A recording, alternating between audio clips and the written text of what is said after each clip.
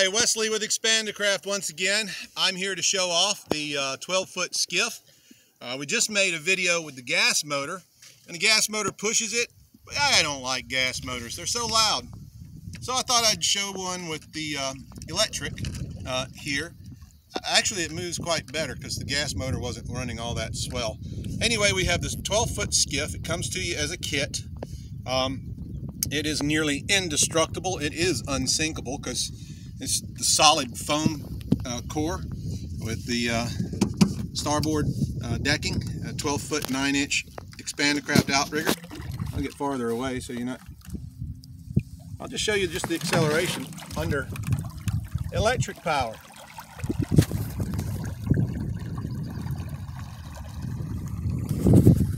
Yeah.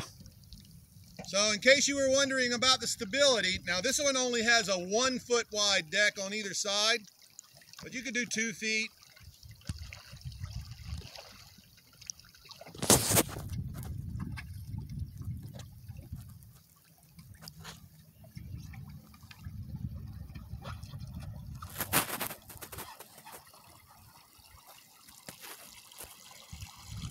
Notice how little wake this thing makes.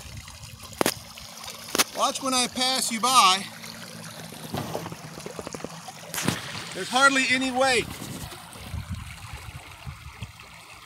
Expandacraft.com